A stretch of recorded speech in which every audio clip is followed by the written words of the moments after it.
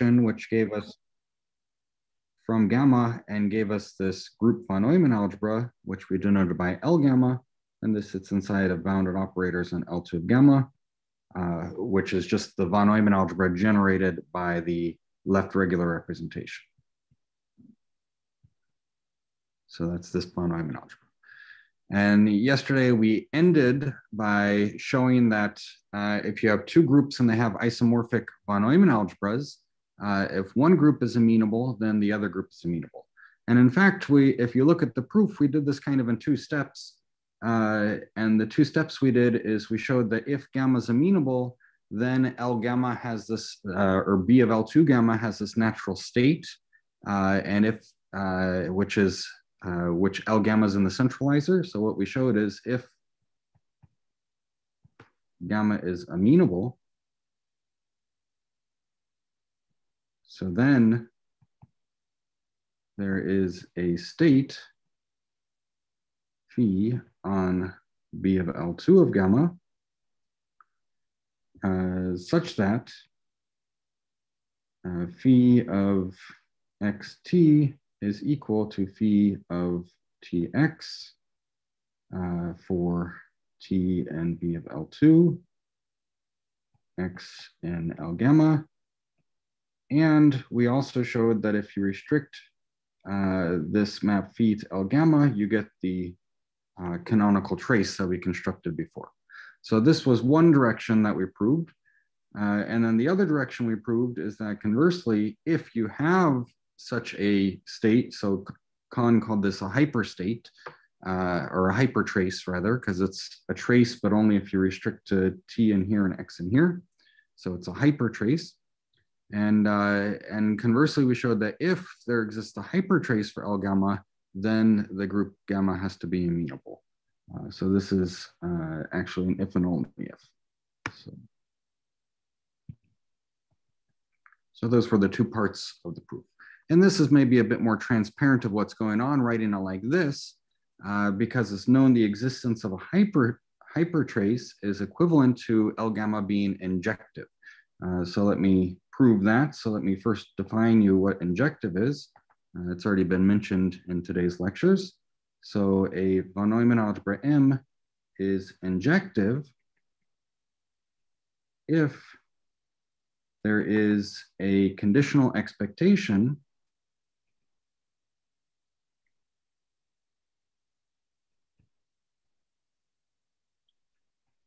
from B of L2 of M, or any representation that it's normally represented on, uh, to M. So a conditional expectation, what I mean here is it should be a projection uh, from B of L2 to M, which should be uh, norm one, or equivalently, it should be uh, completely positive idempotent. Um, those are equivalent.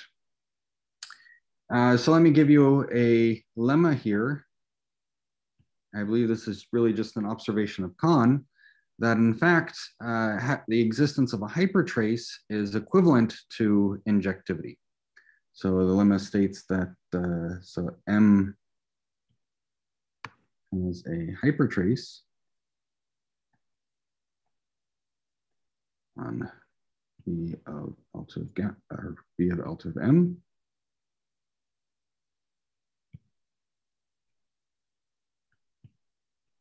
if and only if M is injective.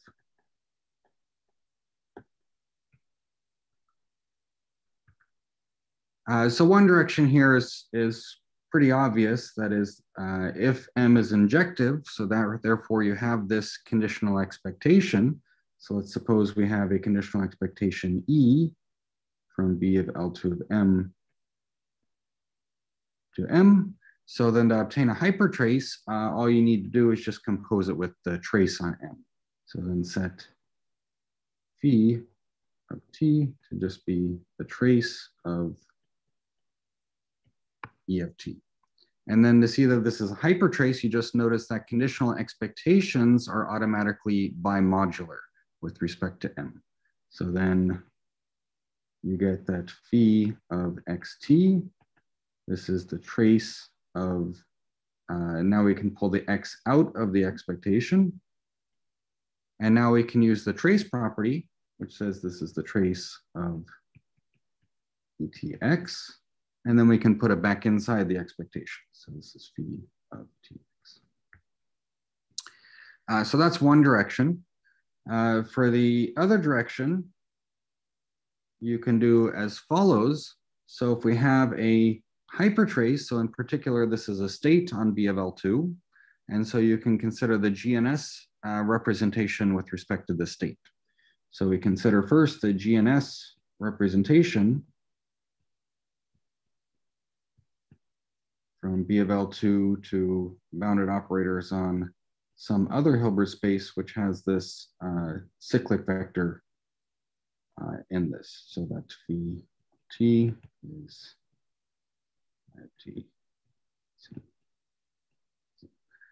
Uh, so then the thing to notice is that uh, I required that the, well, the hypertrace in particular restricts to a trace on M.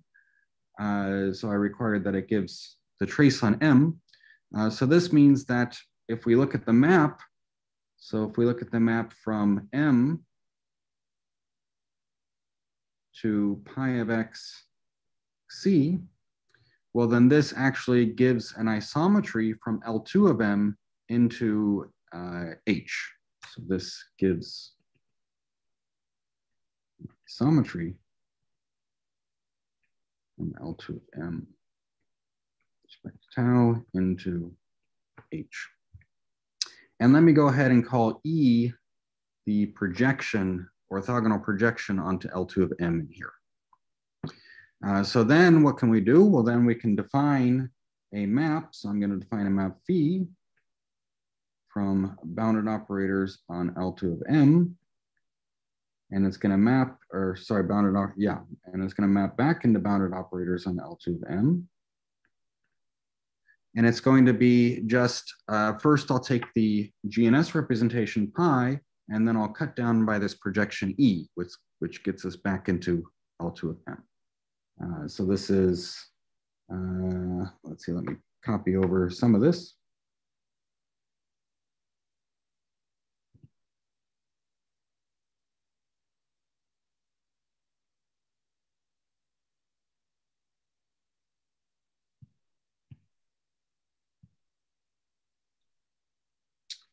Uh, so here we have, so I'm going to define this uh, map phi by phi of an operator t is nothing but take the GNS representation, apply it to P, and then cut down by this projection E. Jesse, there's a question from the chat. Oh, yes. Uh, yeah, I don't always see the chat right away, so please interrupt me if there are other questions. Uh, are the traces now assumed to be finite or sem semi-finite as we had yesterday? Uh, so in this case, M is going to be uh, finite, uh, finite trace. Thank you. Yeah, my general, uh, so generally speaking, I'll use uh, tau, the notation tau, whenever, whenever I'm using a finite trace, and I'll use the, the notation TR whenever I'm using a semi-finite trace. So that's just a general, general notation in my lectures. All right, thank you. Uh, so this gives us a map from B of L2 to B of L2. Uh, clearly, this map is, is uh, completely positive, so it preserves uh, positivity and amplifications. It's just a combination of a homomorphism with, uh, with uh, conjugation by projection. And the other thing to notice is that uh, if you restrict to x and m, well, because we had this isometry, which was also left modular with respect to m, that this will be the identity on it. So note that phi restricted to m is the identity. Uh, so we do get that it is the identity. Uh, so to complete the proof, all I need to show is that this phi is actually the conditional expectation we're looking for. That is, we need to show that the range of this map is already inside of M. So how are we going to show that? Uh, so we're going to uh, show that by showing suppose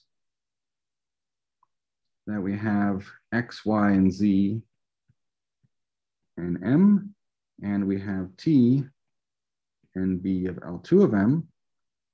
And then I want to consider what is this phi of t. Uh, then I'm going to multiply it by, say, z op.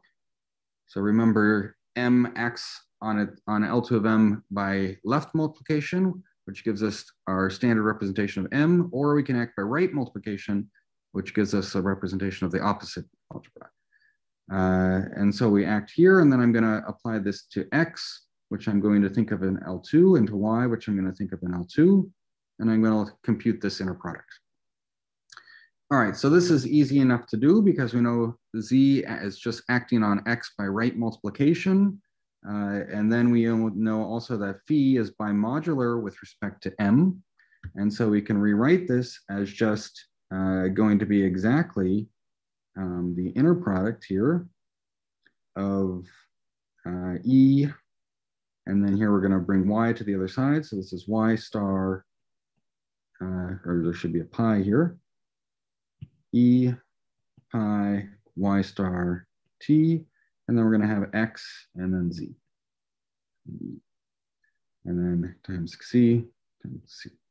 So that's just writing out the formula for our definition of uh, phi. And then uh, what do we see here?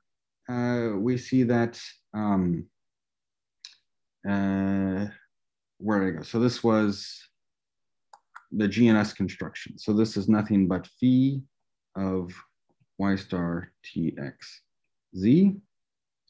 And by hypothesis, this is a hyper hyper trace. So here we have an element in M, so we can move it to the other side. So this is phi of z y star tx. And then again, I can just by symmetry, I can rewrite this. This is going to be the inner product here of, and now you're going to get z op on this side, phi of t, and then x hat y hat. Right, so what this computation shows is that this element phi of t, whatever it is, well, it satisfies this. In particular, this is for all x and y in a dense subset of L2. So therefore, what you get is that phi of t, whatever it is, uh, lives in the commutant of m op, which I already mentioned last time is just m itself. So that's how you prove that it uh, maps into all right, so hyper traces are really in bijective correspondences, uh, bijective correspondence with conditional expectations, in fact. All right, so that's amenability, uh, but this was not, so this gave us one way to distinguish uh, two and factors. In fact, it's not, uh, yeah, I should also mention the result of Connes, which has already been mentioned earlier today from 1976. Uh, and that is in fact uh, so we know that amenability is an invariant. I should also mention this argument I gave yesterday that amenability is invariant. This is due to Jacob Schwartz. Uh, and Connes uh, showed, in fact, that it's uh, on one side, it's a complete invariant. So if we have uh, M, so rather, Connes showed that there is a unique separable uh, two one factor, uh, injective two one factor.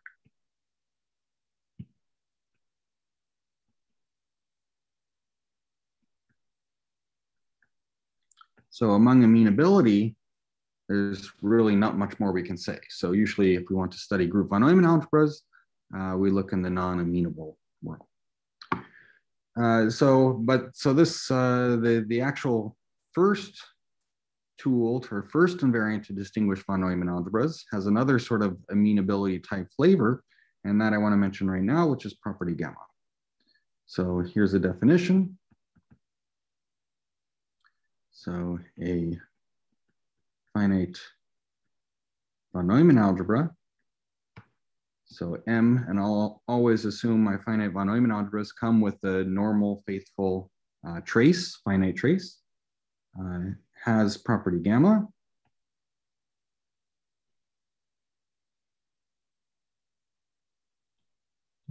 If there exists a sequence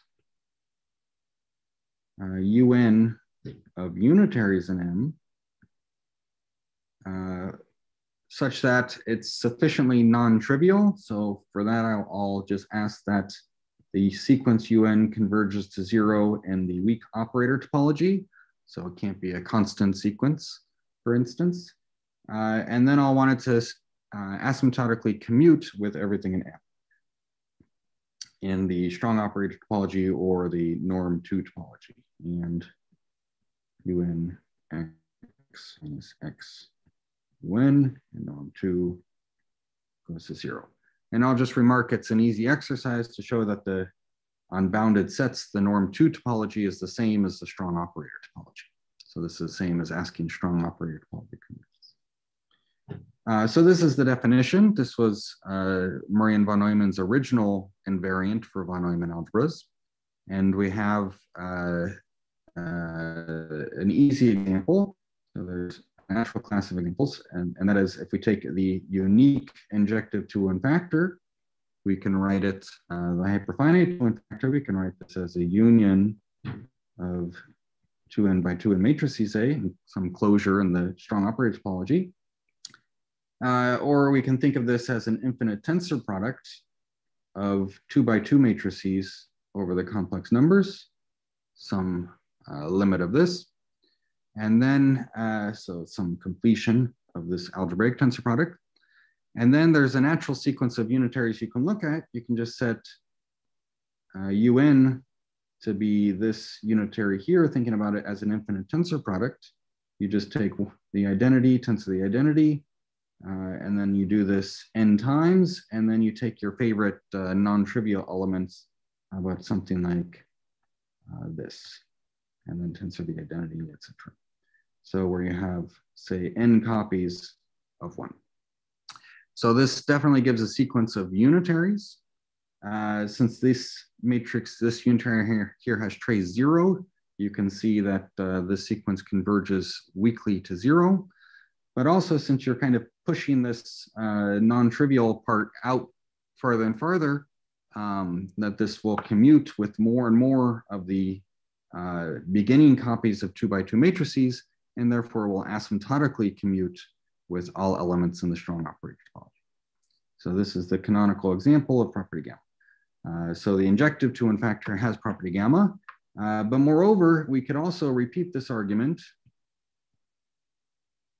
in fact, if we take any, say, finite von Neumann algebra, and then we just tensor the hyperfinite two one factor, then you take those same unitaries, just view them as an R, and they already commute with everything in M, so this has property gamma.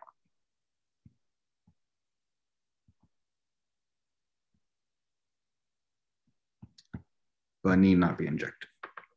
Uh, on the other hand, we have this uh, a result of Effros.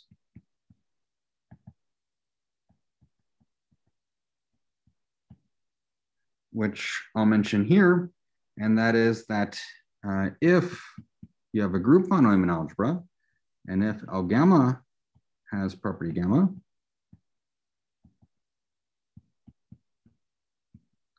so then there is a conjugation invariant state uh, on L infinity of gamma. So we saw before that amenability was the existence of a left invariant state on L infinity of gamma. But of course, gamma acts on itself by both left and right multiplications. So you can ask, is there a conjugation invariant state? Uh, let me give this a name. And of course, I also want to avoid the triviality uh, so I'll say such that phi restricted to C0 of gamma is identically zero. That avoids taking the Dirac function at the identity, for instance. Uh, and then I'll give a quick sketch of the proof here. Uh, it's quite simple. Uh, specifically, what you do is you define a state. So phi on B of L2 of gamma. So I should start with given the sequence UN as in definition. So we'll define the state uh, by uh, taking any weak star uh, cluster point of the states which tend to take an operator to t, and then I'll just look at these vectors here, which are in L2. Uh, and then uh, a couple things, and then what do you do? Well, how do you find the state on, on L infinity of gamma? Well, remember that L infinity of gamma embeds naturally inside of B of L2 by pointwise multiplication operators, or if you think of these by gamma by gamma matrices, these are just diagonal matrices. And so now you just restrict to L infinity of gamma. And the point is, is that since uh, the UNs are almost, well, since they converge weakly to zero, uh, this says that this state here vanishes on the compact operators. And hence the restriction to L infinity will vanish on C0 of gamma, which are contained in the compact operators.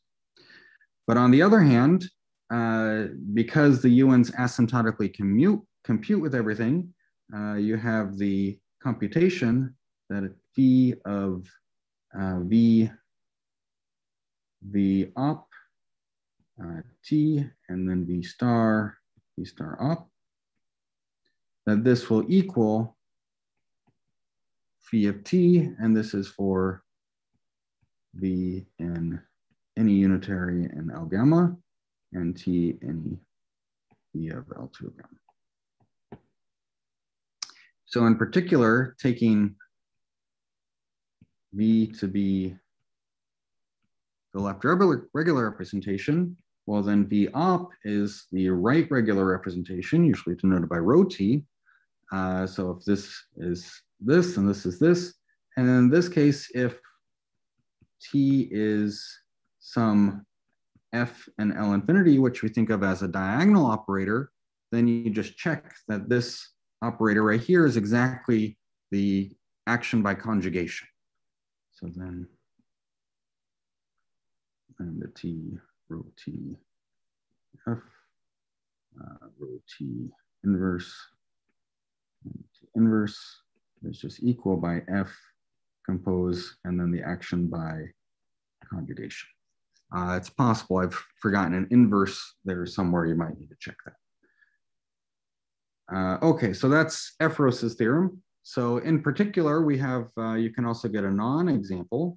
So Efro called, Effros called this prob property inner amenability.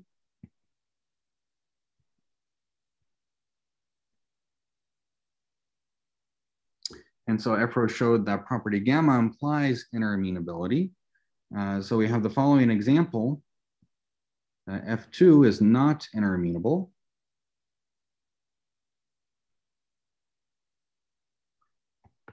And if you're familiar with the proof that F2 is not amenable, then you'll be familiar with the, the proof here that it's not interamenable. It's really the same proof. I can draw it in a picture.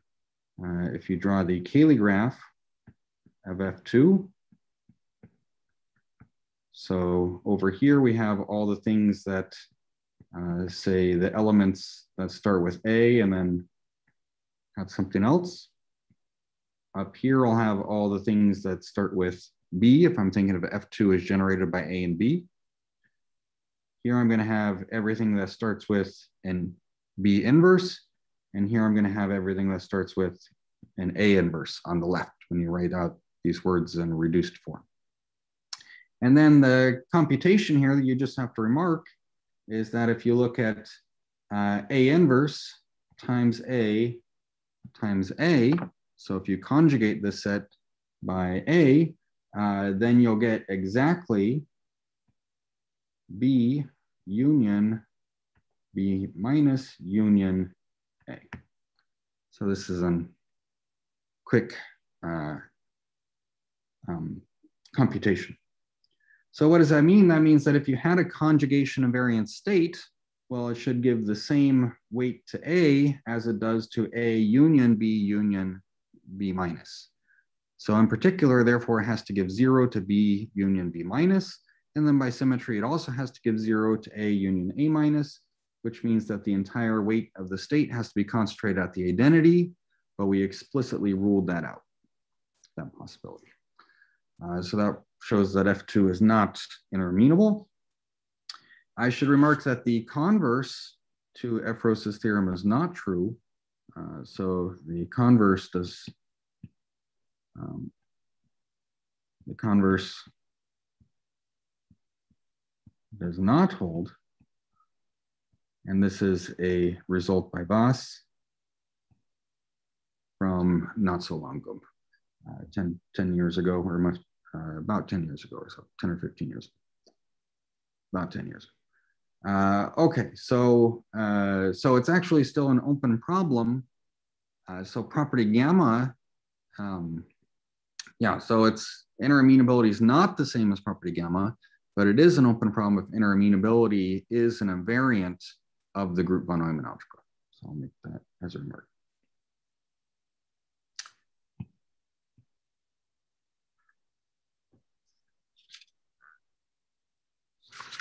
All right, so the next form of amenability or invariance, now I want to jump quite a number of years from Murray and von Neumann uh, to now we're in the 2000s and I want to talk about some work of Ozawa.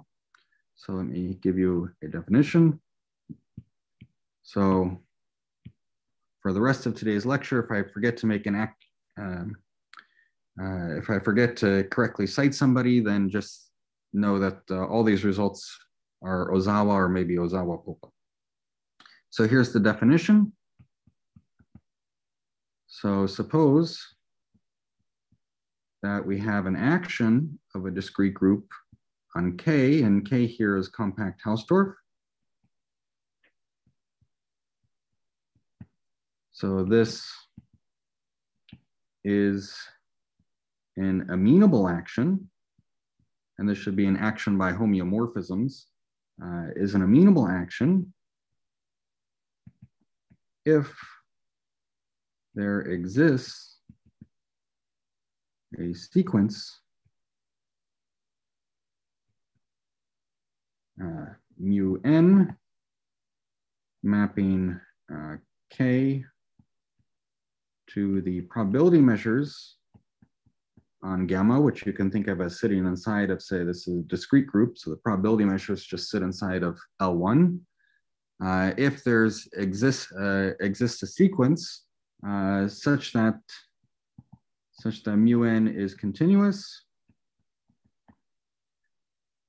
and we have that the uh, sup over all k and k of mu n of tk minus, then we can,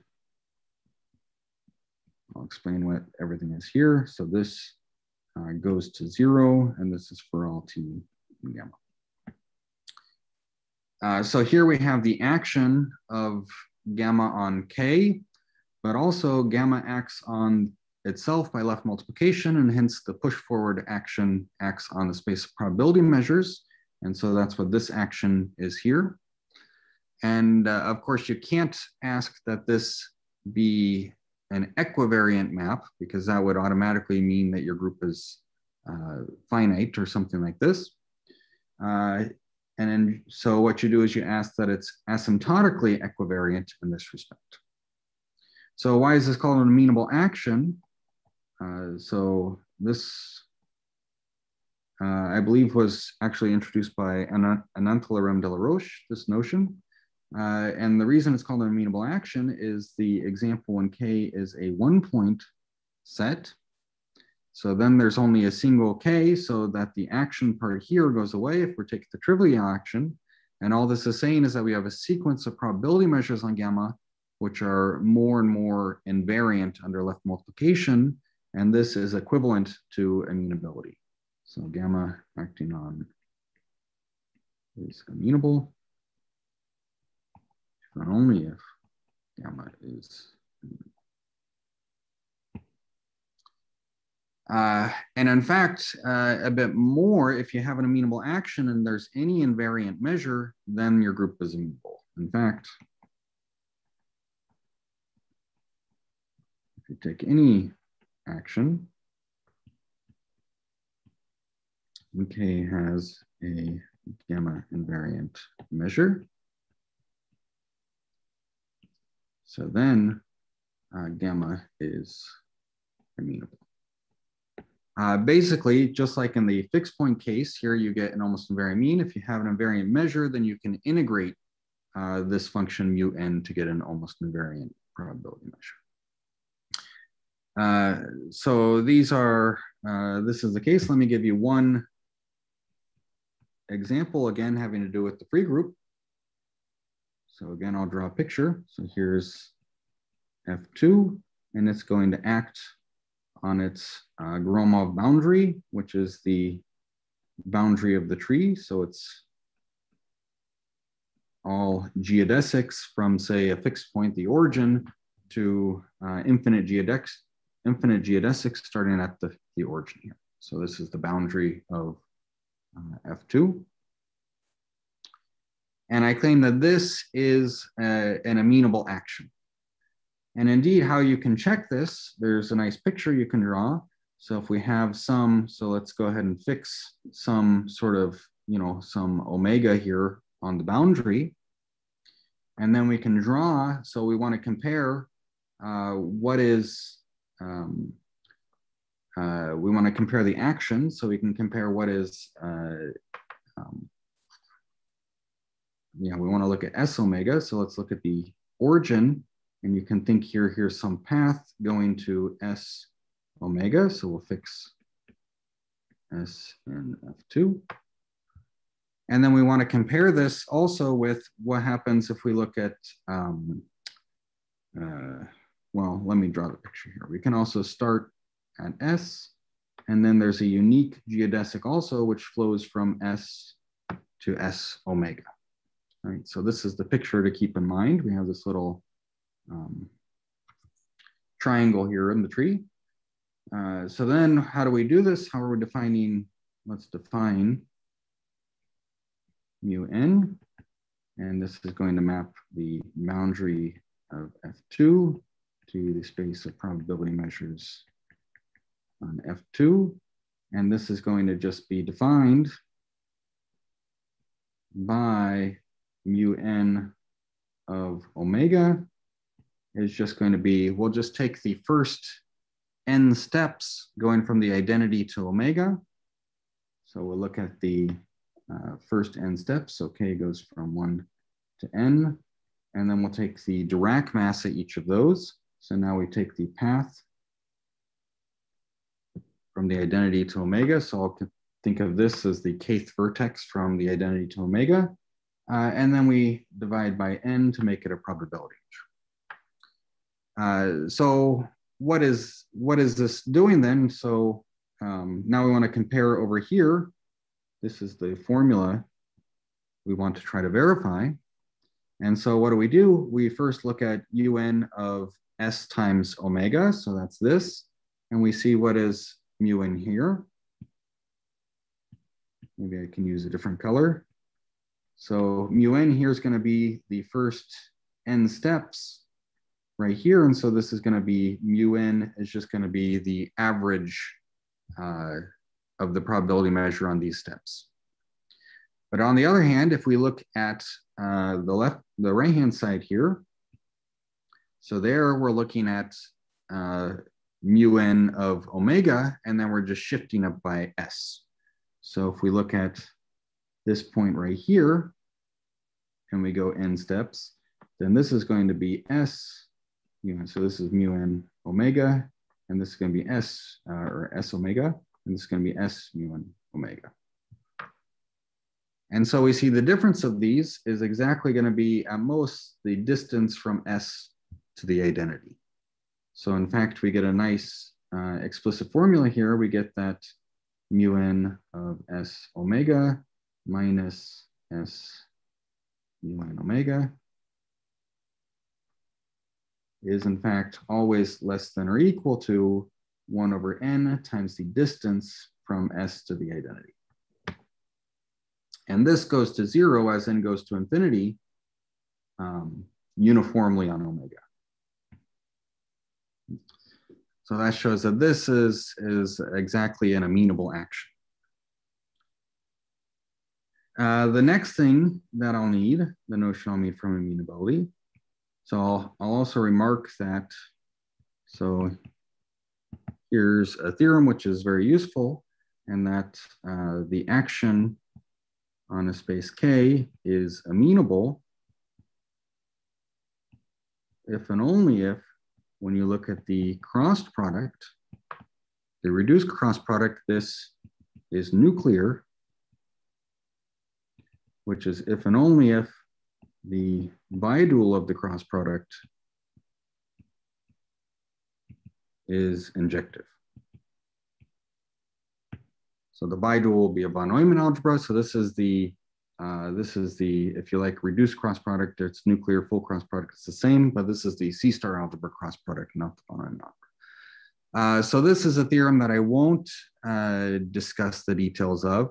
In fact, in this generality, it's quite a deep theorem which uses uh, the full strength of, of some of Connes' work and Tomita Takesaki theory. So it's it's rather involved. So I'm going to take this as a as a black box in my lectures. Um, but that's maybe one of the importance of amenable actions. Uh, so the next notion I'm going to need is, is now back to groups. So let's, uh, so again, fix a group. And let's consider this uh, C star algebra A inside of L infinity. So this is going to be the set of all F and L infinity gamma, such that if you look at F and you then take a right translate by T, so I'm writing R sub T for the right translation action by F, and let's ask that this is in C naught. Okay. All right, so let's consider this set. Uh, so a moment's thought, you'll uh, notice that uh, A is a C star algebra.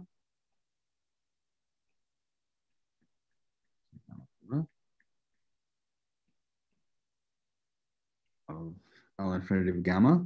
It also contains the, the C0 functions, uh, so that's clear. Uh, but in particular, since it's a C-star algebra, uh, it has a spectrum, so we can write it as continuous functions on some space. So therefore, we get that A is equal to continuous functions on some space. And I'm going to denote the space by gamma bar. Uh, this space, so we also have an action here, notice, uh, so gamma acts on A by left multiplication.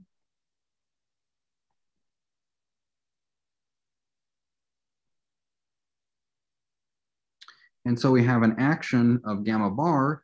And since this contains the compact operators, we also have a natural copy of gamma sitting inside here. So the action of gamma on itself by left multiplication sits inside here.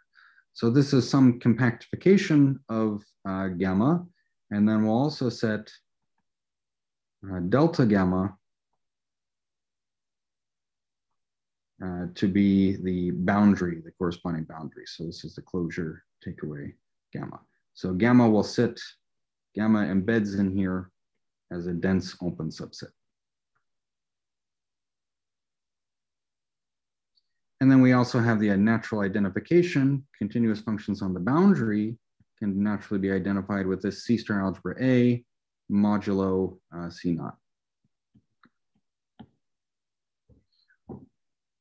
Uh, so this is the boundary that Ozawa called the, uh, the small smallness at infinity boundary. Uh, and I believe it's been studied even before in the past under different names. Uh, but now the now let me give you a definition. So a group gamma is biexact if the action of boundary on this uh, boundary, the smallness at infinity boundary, uh, is mean.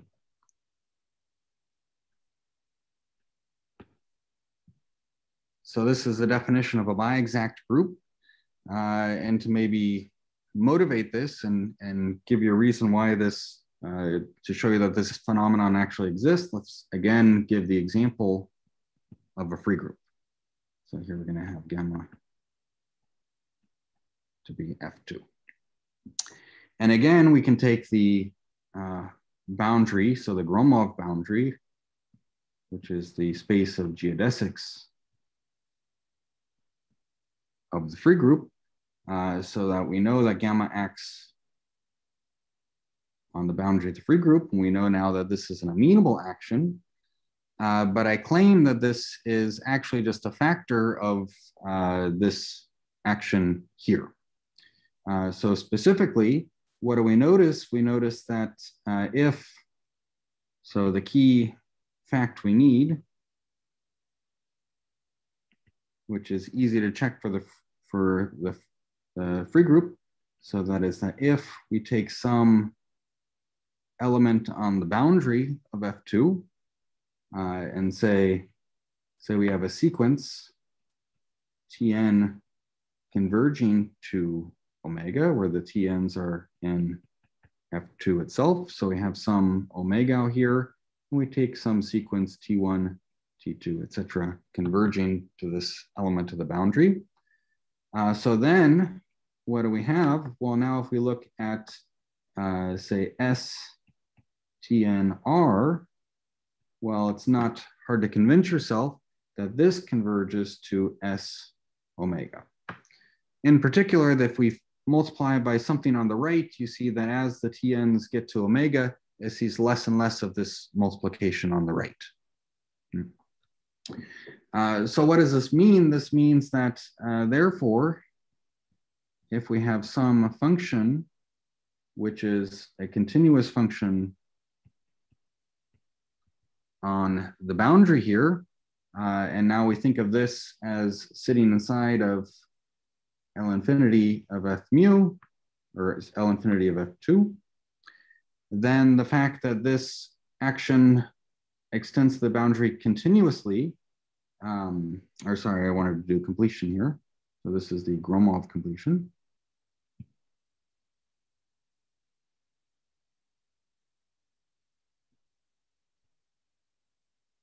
So the fact that this action on the right here extends to the trivial action on the boundary exactly says that if you shift this f by right translation, it doesn't change its value on the boundary.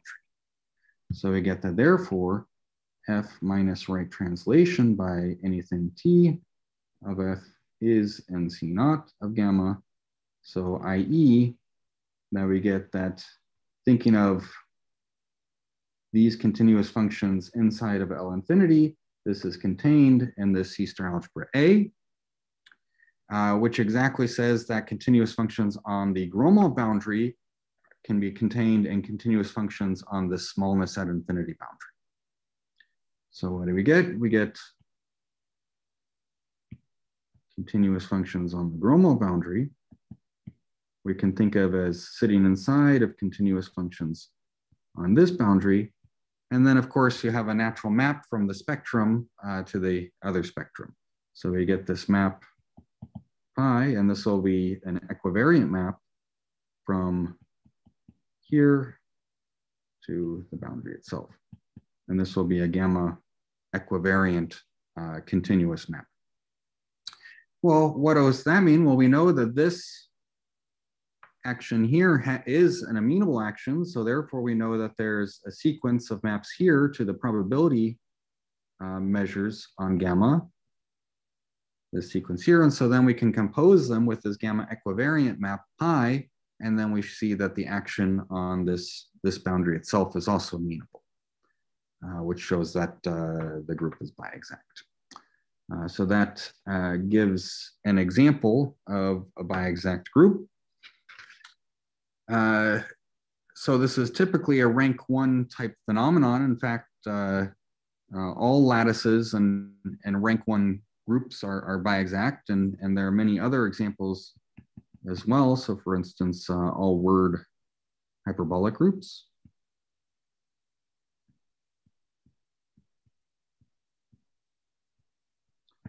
And if you see the picture here, uh, the picture I gave before, where to go?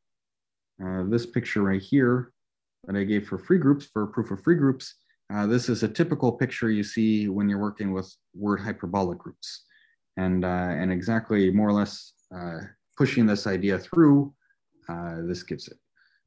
Oh, there's a question. Does inner amenability imply bi-exact? So amenability implies bi-exact because if you're amenable, then every action is an amenable action. Uh, but actually, uh, know that um, uh, there are plenty of inner amenable groups which are not bi-exact. In fact, I'll mention, uh, so for instance, if your group um, uh, anything direct product with the integer, say, will uh, any non-amenable group direct product with the integers will not be bi-exact. And that'll be a consequence of a theorem of Ozawa, I'll just mention in a moment, but it will always be inner amenable. Uh, but other examples besides word hyperbolic groups, uh, we also have some more interesting examples like uh, Z2 semi-direct product SL2Z, so this is notable. This has a normal amenable subgroup. And we also can do things like say Z uh, wreath product, um, any bi-exact group. So gamma, which also has some normal amenable subgroups. Uh, the main source of examples of non-bi-exact groups uh, comes from this theorem of Ozawa, this uh, very powerful theorem of Ozawa.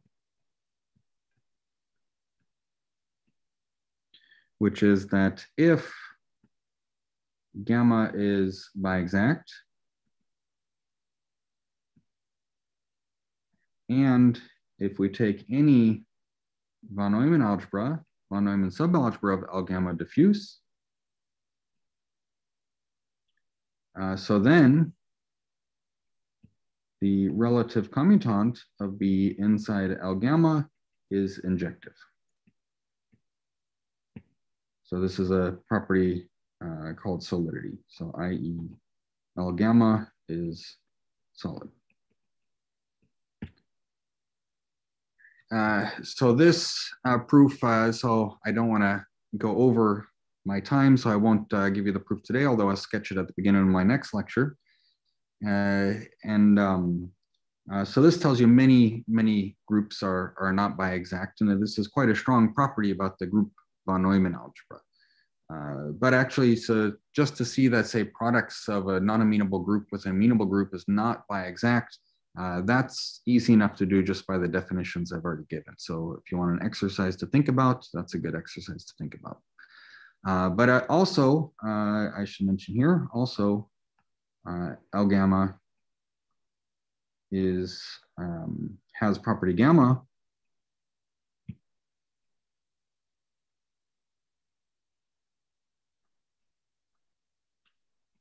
uh, if and only if uh, gamma is amenable. You know, amongst bi-exact groups. So, um, uh, so therefore, uh, yeah, property gamma implies implies that. Uh,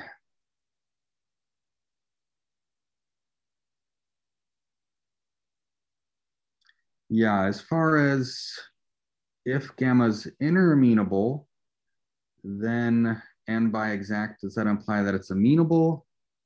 Uh, maybe somebody in the audience knows this, they can correct me if I'm wrong, but I don't believe this is a result that appears in the literature anywhere. Uh, okay, but now I think my, my time is up, so I'll go ahead and uh, stop here.